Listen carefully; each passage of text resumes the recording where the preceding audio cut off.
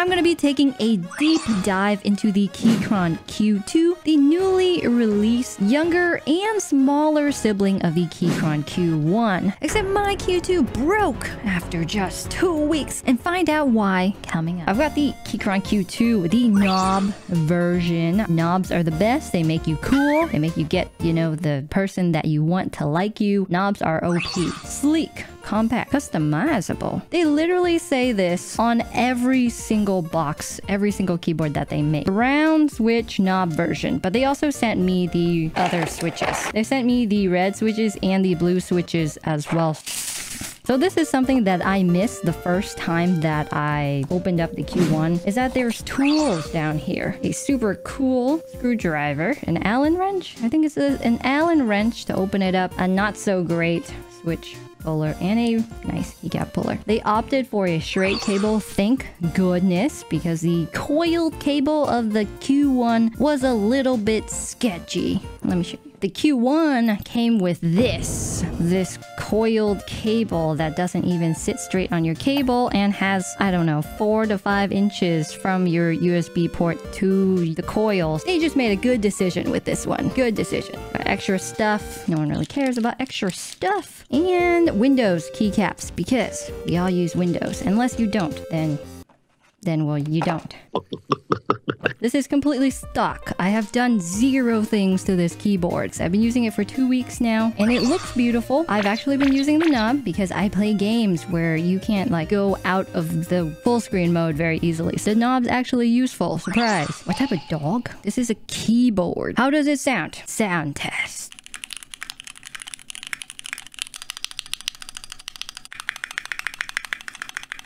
It's pretty good. There is one key that sort of annoys me, but that doesn't bother me since I never, ever, ever press this key in the first place, and that is the left shift. These are brown switches. So these are Gateron G Pro Browns. That makes them pre-lubed. They're pretty good pre-lubed. Like, so no spring ping, they're very consistent. Unlike other pre-lube switches that I've used before, these are pretty good. The top looks really good. There's a knob. The knob is not perfectly aligned with the top of the keycaps. It's not in a great place. If you were to replace this knob with a normal keycap, it would just look wonk. Real wonk. Just jank, not good. And the back looks exactly like the Q1. Q1 is here. Q2 is here. It's just smaller. And the side, I like the side. Usually keyboards look really bland from the side, but this, this is nice. Q1, Q2. Very much the same, sleek edges here. It's so much better than just a block. And a nice upgrade from the Q1 to the Q2 is that instead of getting double shot ABS keycaps right here, which are ultra smooth and feel sort of sticky, you get double shot PBT keycaps, except the profile is OSA. And Keychron calls that OEM spherical keycaps. It's just a different profile. Initially, I hated it. I was like, I can't wait to change these to cherry. Ooh, it's just so circular on the top. It's spherical. It's exactly what they said it would be, but I don't super duper love it. As for price, for this version, this is the knob in black with G Pro browns, and that is $180. For bare bones with the knob and without switches or keycaps, it's 160. But those are the prices. It ranges from $150 to $180. Back to the keyboard. At the top, you do have your Windows Mac switch, just like on the Q1, and your USB-C port. Here, you need a you need a knob sound test. Here we go. Okay, let's put a red and a blue switch in. How does it feel like to type on? I can't just explain it in like subjective terms. Comparing it to like the GMMK Pro or the Q1 or even the Ducky 1.3 Mini, like it has a very comfortable typing feel. You don't feel like the tips of your fingers are about to break. I mean, it's not that intense, but it is better than the GMMK Pro. Can you screenshot with this? You can program these keys or you can like program the, the press of the knob. So you can do anything. You can do whatever you want. G Pro blue, red, and brown. Remember where they are because I won't. J, G, and H. Hmm. The red definitely sounds the best. It's not thocky though. It's like an in-between sound, which I don't hate. I don't hate it. it. It just is not what I want. Is it worth the money? Yes, yes, it is worth the money. You get everything in one package instead of going to this website for this, going to this website for that, going over there for this. So like it makes sense in that way, but if you're gonna say like, oh, is $180 a lot? Yes, it is a lot. Is it as pingy as a Q1? It's not. It's like a very different sound. Water break. How do you think this would sound with the NK new silk switches? Is that like the NK silk red, yellow, black? As I actually plan on putting some silk switches in there today. So you're in luck because that's what I'm gonna do to it. That's exactly what I wanted to put in it. I have the NK silk Olivia's because I wanted a little, some special colors if you know what I'm saying. Okay, I'm gonna take it apart. That's good because I really wasn't a huge fan of these keycaps. They're great and all. It's nice that they're they're PBT and double shots, but I'm really not a fan. And I'm also linear gang secretly, so these browns weren't working it. Although to be fair, Gateron G Pro browns are much more tactile than I expected them to be. So Keychron did send this over to me along with a bunch of other things that I guess I should speak about, but I'll do it after I take off these keycaps. Oh, one thing, the knob comes out so easily compared to the GMMK Pro where the knob was like, no, I'm just not going to come out. This one, you just yank it well, you don't even have to yank it here. This barely takes any effort to take it out. You just go whoop, and there it goes.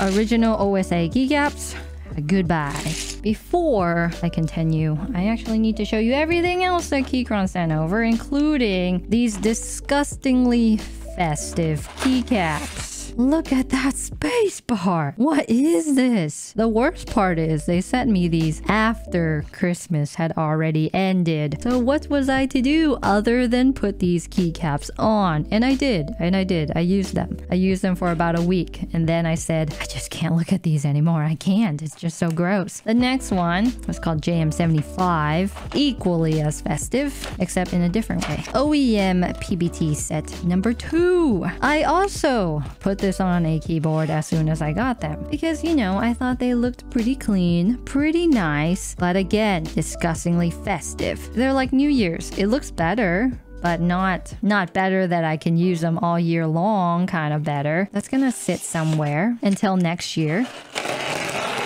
Okay, the next thing is the resin I almost dropped it. Is the resin Risres resin poured? Very nice. I was actually worried that they would be too tall, but this one fits fairly nicely. Perfectly sized. Doesn't rest too high when you're playing. You can be like, oh yeah, I'm playing a game, having a good time, you know. So if you're interested in any of those accessories, they have them on their website. Screws.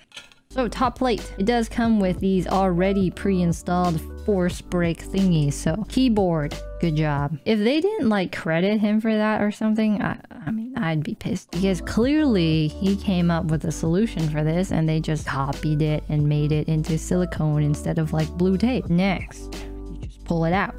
Here's a PCB and plate combination. The bottom case doesn't have any of those force break thingies, but it's so thick that the bottom plate doesn't really need anything. You have your super ultra thin packing foam layer here used as foam. And then you also have, you have a very thin piece here of a thin plastic. It feels like, you know, the old school film. It feels like that. So these are Keychron's new stabilizers. And as you can see, I thought this was really cool, is that you can get to these smaller stabilizers on backspace, enter, and left shift without taking like the whole plate apart from the PCB. You can't do that with the spacebar though, and I think that's really unfortunate. I don't know why. And just so I can prove it to you. I'll do it right now. Super smart. It's a problem I had with, with other keyboards. It's like, oh, the stabilizers suck, but I'm too lazy to take apart the whole keyboard just so I can replace the stabilizers. All you do is like lift it up and then you can pull the bar or no, you can't. That's so sad. You can't do it. I'm so disappointed in them.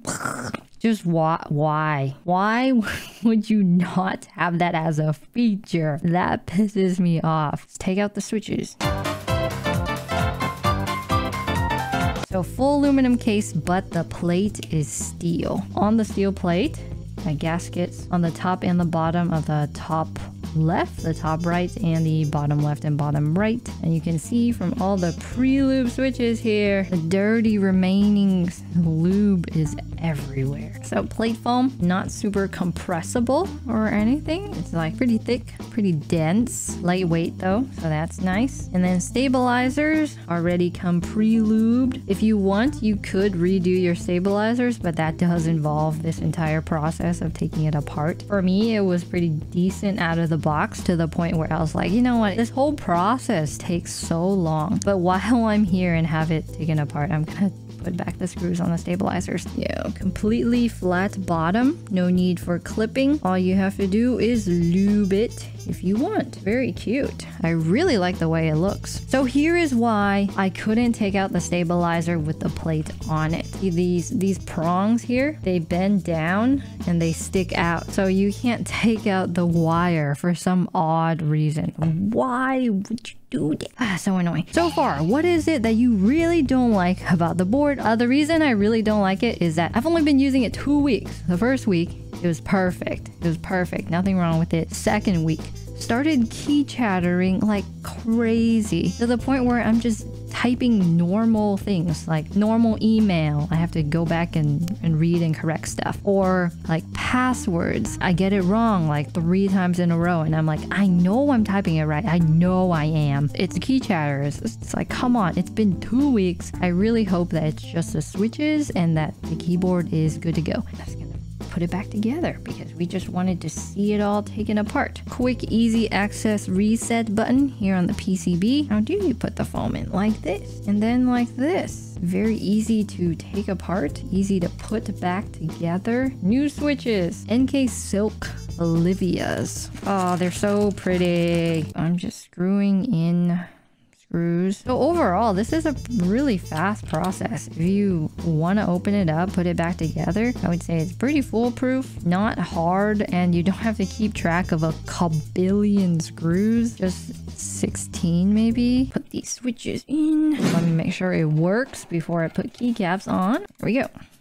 One. Alright, everything works now. And the keycap. The keycaps match my desk in a very beautiful manner. Yes, I know what you're saying. Oh my gosh, GMK keycaps, why are they in a bag? Because space is a big problem around here. So this is GMK Modern Dolch 2. Yay. Sound test. And that is that. That was the Keychron Q2. It's a really good keyboard. If you're interested in purchasing it, there's a link in the description down below. Easy for you to access. And I think you'll also like this video right here if you haven't seen it already.